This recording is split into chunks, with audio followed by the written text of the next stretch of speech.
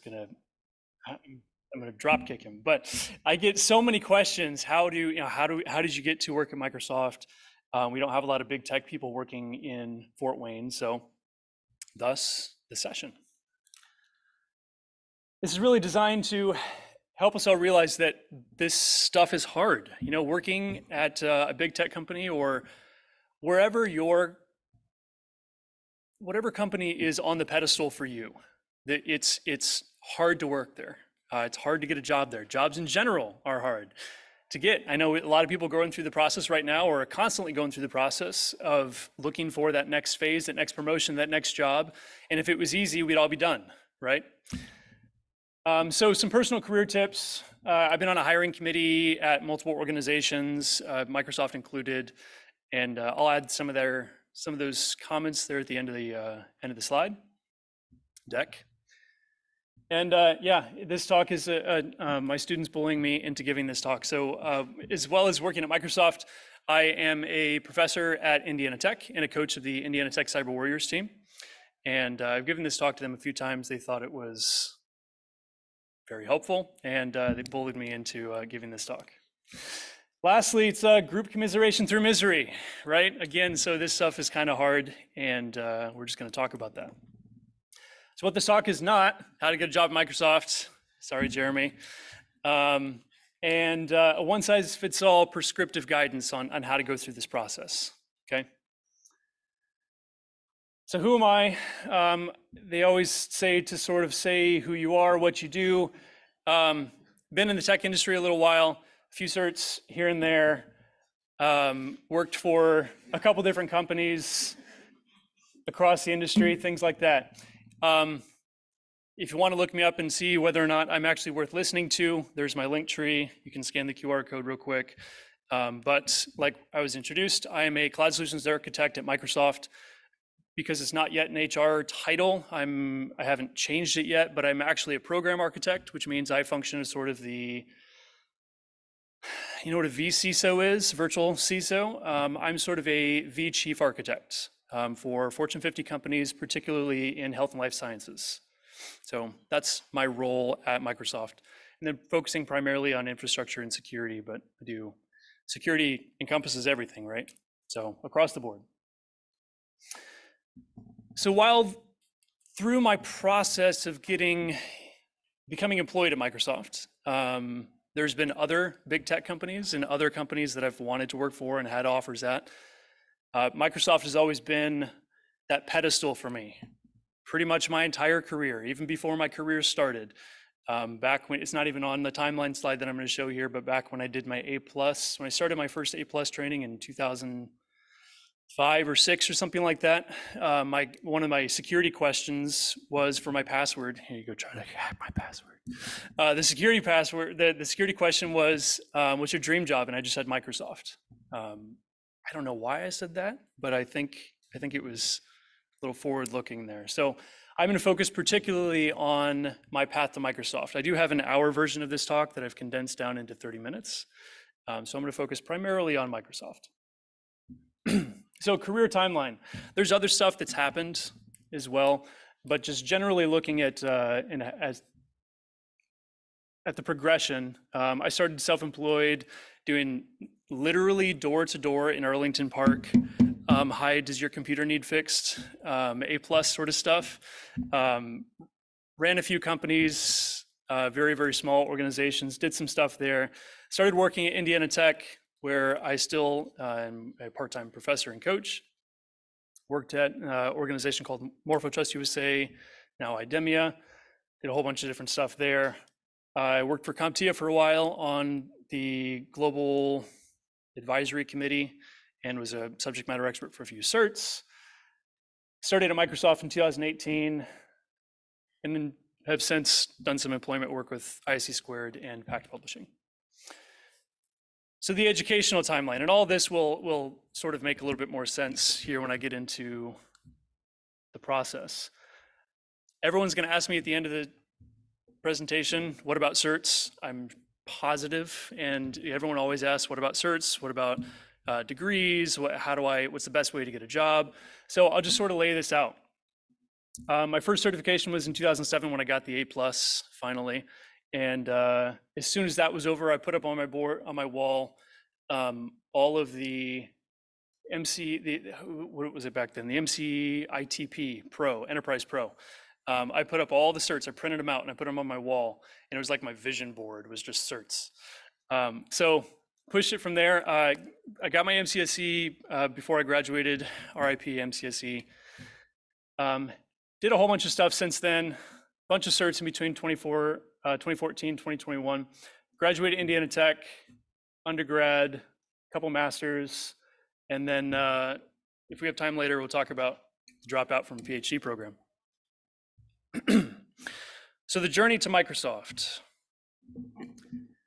So it started in 2012 with a bunch of applications. If you recall, I graduated with my undergrad in 2014.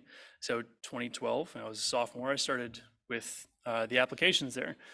Um, Turns out Indiana Tech is not quite the ring knocker school that uh, I was sold it on being, which still it's an amazing school. You should come there. You should send, send anybody who's going to go to a cybersecurity program. You should go to Indiana Tech. Uh, but it turns out we're not MIT, which was super weird to find out. Um, admissions lies. Um, but it's challenging in the big tech world when you're talking about coasts. Anywhere close, the proximity to water just increases the the the challenge for the role, right? Um, so that got really hard. I figured that out really fast. So I ended up chasing down some of the recruiting teams going to other schools. So um, schools like Purdue will have uh, engineering roundtables where they have all these different people that will show up and they say, um, come work for us, please. We're begging you to come work for us. Uh, that didn't really happen at Indiana Tech. So I would drive to other schools buy a shirt in the gift shop, and then walk around and uh, hand out my resume and just omit the school name from the resume. I was just say I'm going to graduate in 24. I wasn't lying. I was just saying I'm going to graduate in 2014 with you know network engineering um, degree. Uh, went to uh, Purdue. I did went to IU. I went to um, University of Illinois. Um, went up to Ann Arbor. Uh, and uh, I started seeing the same recruiters, so you got to make sure that you hit different ones at the different at the tables, uh, which was a little challenging. But uh, you got to do what you got to do to to get noticed, right? It's a hard thing to get noticed. So I started doing a little bit of OSINT on the recruiters because I wasn't really getting anywhere. um, I, I, don't recommend this just for legal purposes. I do not recommend this. Um, we're a little bit less uh, focused on personal security uh, 10 years ago. So I was able to get a cell phone number of one of the recruiters. Again, please do not do this. I'm just telling you what I did. Um, started using some of that information. Uh, so I applied more than 50 times. If you've ever been through one application at a large organization, it's like a lot of work. you upload your resume after you tailor it, right? Because it all has to be tailored to the role. And then you put all of the same information in again and tell them the last 47 places you've lived and all that sort of fun stuff. Do that 50 times and uh, it's just, it's not a good time. So leverage some connections that I've made. Uh, the LinkedIn, Twitter, recruiter's phone number. Literally go to LinkedIn, go to Twitter, and just look up Microsoft Recruiter and just follow all of them and connect with all of them and just start at mentioning them in posts. Um, probably not the best idea, but you know, I need again needed to talk to somebody. Um, finally, got the recruiter's phone number and called them up. Be like, hey, um, I saw you at this. I think it was University of Illinois, um, the uh, the roundtable, and um, I wanted to follow up. They didn't actually know that they weren't supposed to, I wasn't really supposed to be calling them. They thought I gave them my information, or they gave me their information. Uh, but we ended up talking on the phone, and uh, that didn't quite go as well as I planned. Um, but eventually, I got a call back in 2013. So amazing. I was so excited to get my first call back in Microsoft. Maybe through four rounds of phone screens, which is obscene. Um, but um, phone screens and Skype calls made it to the final round. Uh, final round was on site. before I go to that final round, make sure to do a lot of open source uh, OSINT on the company. So have the most recent headlines from the news memorized, um, have quotes that your executives have made in line with the pitch for myself. Um, so if you say like, why do you want to work here? Quote um, Satya Nadella or somebody like that and say, when this is really aligns with what I'm doing, it's so cheesy, but it works every time. Um, so quick tip there, always uh, do some OSINT on the employer that you're gonna go interview for. And uh, if they feel like you're buddy buddy, you can ingratiate yourself a lot easier. I don't have quite time for the dinner story here yet, um, but uh, afterwards I can I can talk about it here. But I was flying out to Microsoft for the first time. Um, this is not to say, this sounds very pompous to say that I was the most technical person there, um, but a lot of these people were there just because they went to the big schools. Again, this talk, Journey of Big Tech from a small town. We don't have the big school name coming from Fort Wayne, right? You can technically say you came from Purdue or IU. Um, it gets a little fishy when you get into the details, right? Um, but those people were they, they had that run going for them already. We we we don't really have that going for us from this sort of this part of the town, this part of the world. I was not made an offer. so first time all the way through, not made an offer. Has anybody ever gone through? So that would be uh, four screening rounds plus flying out on a three-day trip um, and waiting two weeks with an additional call from HR and then not being made the offer. Yeah, it's not fun. It is not fun at all. That it, it is absolutely crushing. So I was super bummed. you know, took two weeks off, started applying again. Those two weeks, you go through the uh, the stages of grieving. You're like, wow, I put a lot of time and effort into this, and, and this this sucks. Um, you start applying again. Okay, we'll keep going. Made some new connections um, work towards making connections three to four times a week. So almost once a day, I set apart time where I was just trying to connect with people, making the connections, having myself be back of mind for at least somebody who mattered or somebody who could make a decision, right? Second callback, December 2013. Got another callback, finally. Um, I tried to go back and look at how many times I applied in between here. I don't remember how many it was. I'm, I, I think it was about 30 or 40 additional applications. This was to Microsoft specifically, not including the other ones. So got another callback. Four rounds of phone screens and Skype screens made it to the final round. So excited. Booked my flight. Then they called and canceled my flight. And they said, oh, we forgot to mention, even though we we, we've fully qualified you, um, you don't have skills in uh, C sharp development. I'm like, nope, I do not. I'm the farthest thing from a developer you'll ever find. I'm like, well, even though you were qualified, that's a requirement by HR for this job. So we're going to have to cancel that. That sucked. They took my application, they pushed it into another pod. I waited a while. That pod made a call, said, hey, we're going to start this process full rounds of screens, phone and Skype, made it to the final round. Again, hopefully this time I actually get to get on the plane. Flown out to Microsoft again, by far the most technical person. Um, there was there was a speaker at the dinner that they brought us to, um, and they were talking about one of the people that have been through the college hiring program, that after five years had finally accomplished an MCSA, and they were the crowning achievement and I'm like, I already have two MCSEs. This is weird. Um, keep note of that for later. At the end of the end of the talk, I'll talk about some of that. was not offered a position. That t- first time I was flown out to Fargo, which wow, Fargo, let me tell you. Um, when they tell you uh, buy a snowmobile and then don't laugh it off, it's like, okay, maybe I made the wrong choice. Um, Second time was to Charlotte. Um, again, flown home, whole month and a half long process of screens, not offered position. Again. Obviously, very upset. This is a lot of work. very upset. Decided to apply to Google. Made it through the screens. I was flown out. Oops. I wish I could erase that part from my life too. Um, got the job offer, turned it down. Uh, was not a big fan of Google. Uh, that was just my personal preference. Um, I don't really want to share an apartment with 19 other people or live in a box truck um, to go work at Google. So it didn't uh, didn't quite work out. Started applying to Microsoft again. We're like years into this process now. So if if a couple weeks or a couple months is hard, I'm not saying that my fish is bigger, but my fish was a little bit probably bigger.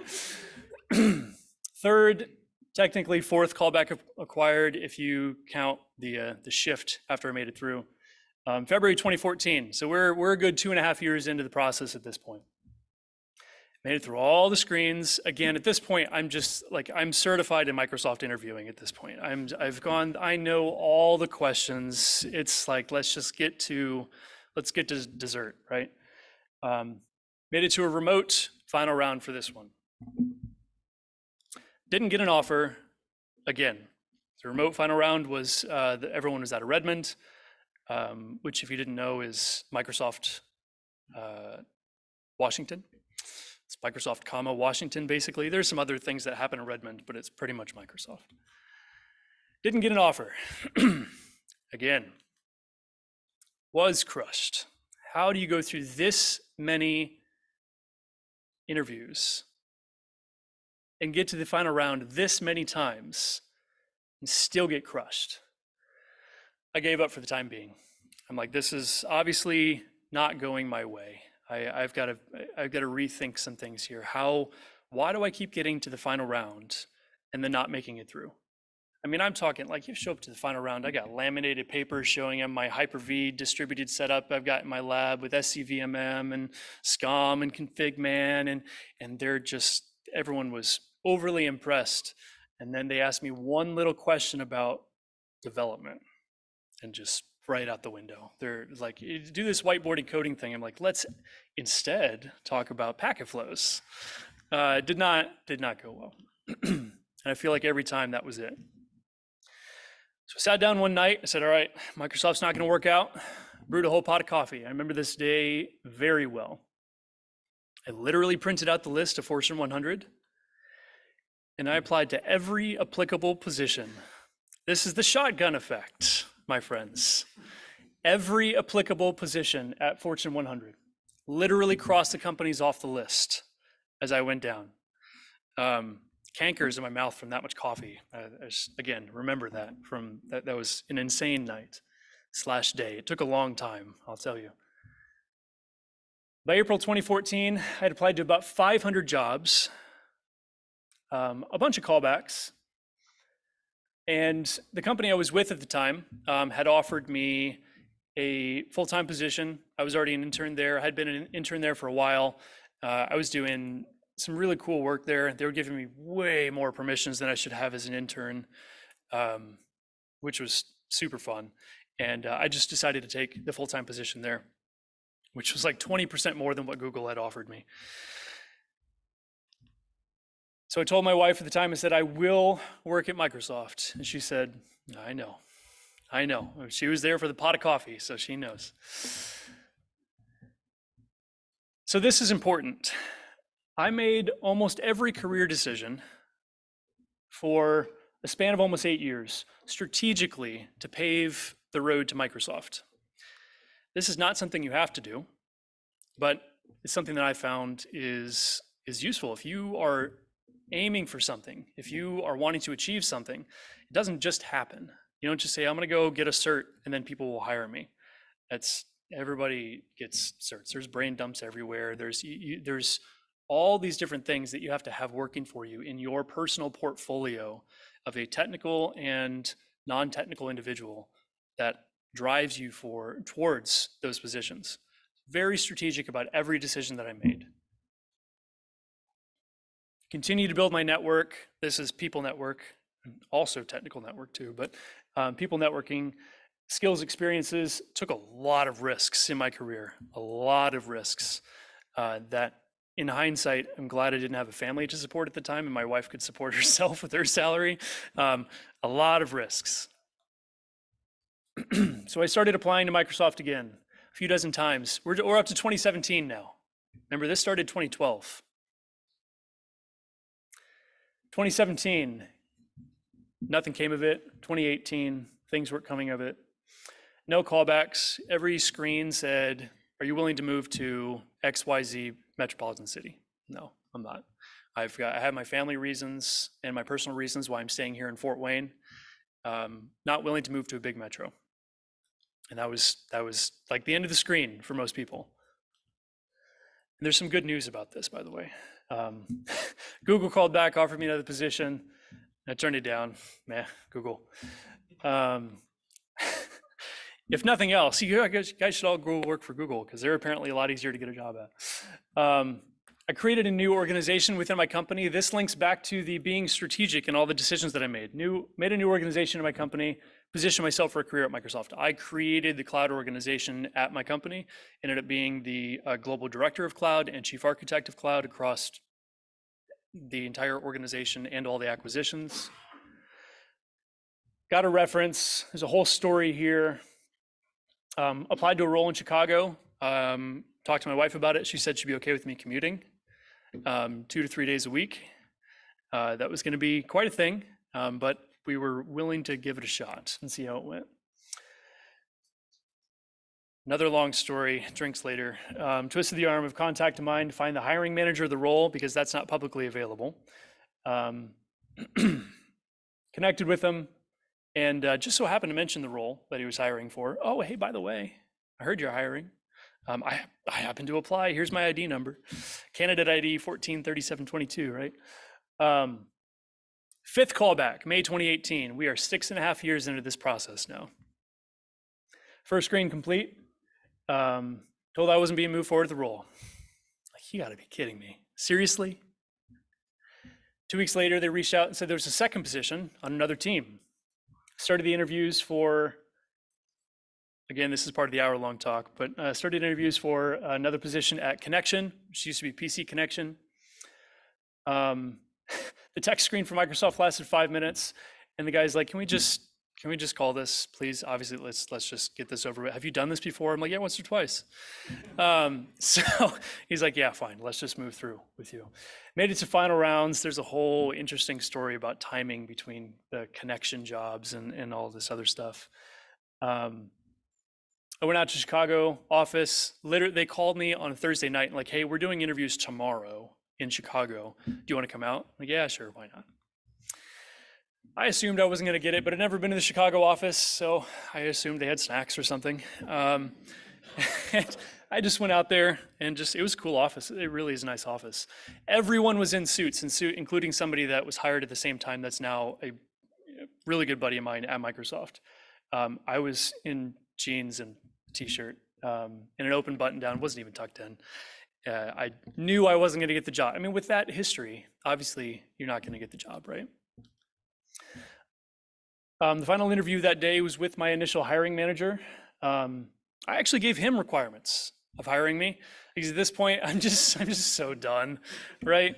I'm like i'm going to work in fort wayne. I have family reasons why i'm going to work here. I'm not traveling more than 25% i'm not moving anywhere. And i had this other connection job. I want 20% more than that.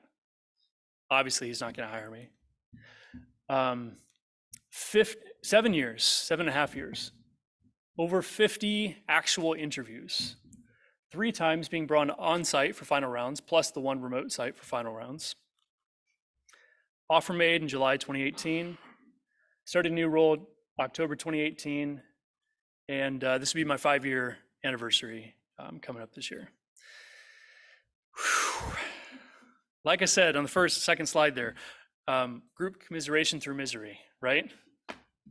We all have been through maybe not quite as in-depth process as that, um, but it's hard.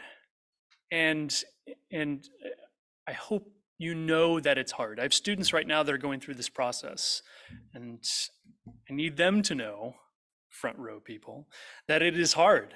It's a hard thing to do. So here's some lessons learned. don't be don't wait to be amazing at your job. If you work at, I'm not even going to reference a company because it doesn't matter. Insert company that you think it would be funny to be a really good technical person at here.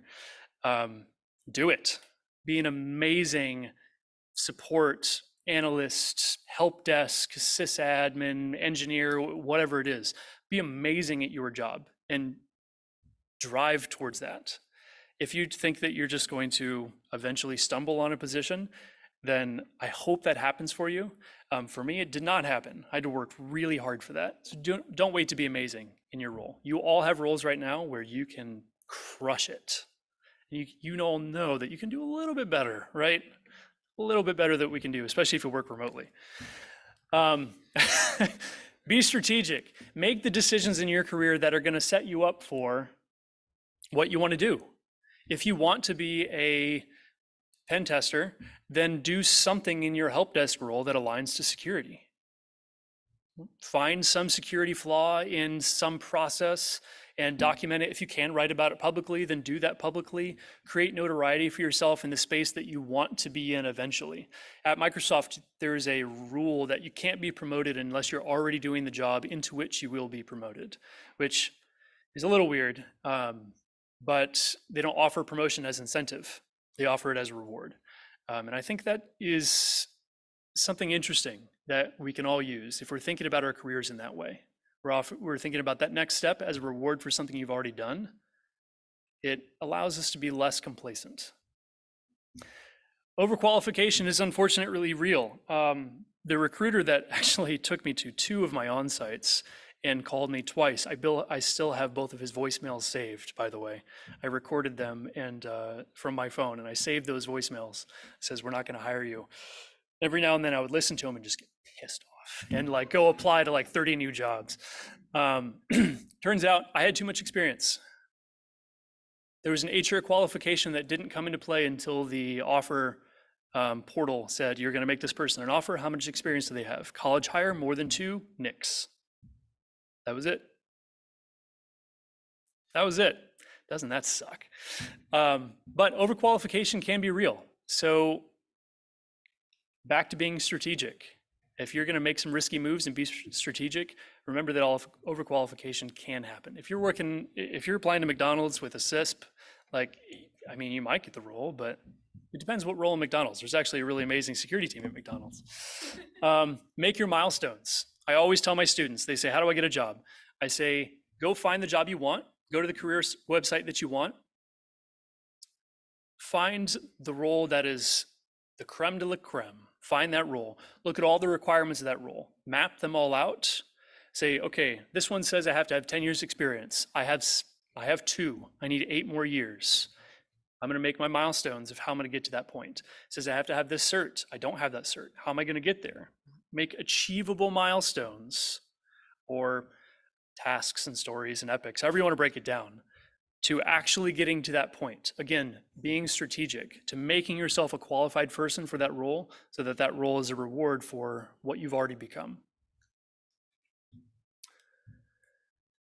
Four pillars of landing a job. I know I'm running out of time here, so Traditional education, for whatever reason, is still a requirement. Obviously, come to Indiana Tech, send everybody to Indiana Tech. Traditional education is wonderful. Um, there is a whole case to be made there. I, I have this argument with academia and traditional or industry professionals a lot. Uh, I can argue it from both sides. Practical education, certs, training courses, training platforms, experience, um, etc. Experience, if CTFs, if you want to do those, give those a shot. Any other kinds of competitions, especially as you're younger? Internships, projects. One of the things that you can do to make yourself a qualified individual for a role that you're not in yet is do a project about that. Buy a cheap server, go build some stuff, write a blog about it. Hey, I did this thing. Maybe don't bring a laminated copy like a total nerd to an interview, um, but you can talk about that and have it as a portfolio. And someone says, this person obviously has that drive towards that. And network as much as you can.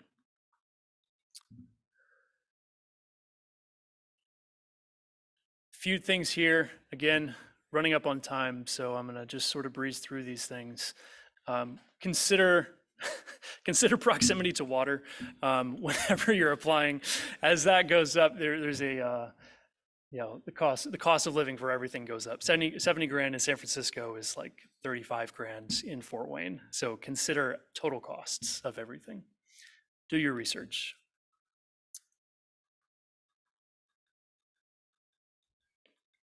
I think this is an entire other topic to discuss. Beware the robot, beware the human. Put those things into uh, your favorite search engine and uh, take a look at what those mean. Um, last thing I'm going to add here is quote by Warren Buffett investing yourself is the best investment you can ever make. Absolutely. Be strategic about it.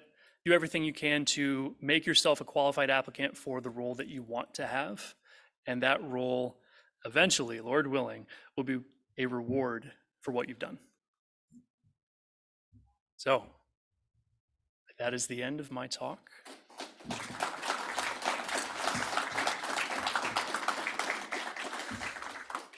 I know we're up on time, um, but does anybody have any questions? How does DNS work? yeah. Um, maybe another talk for another time. In C sharp? No, um, I did not.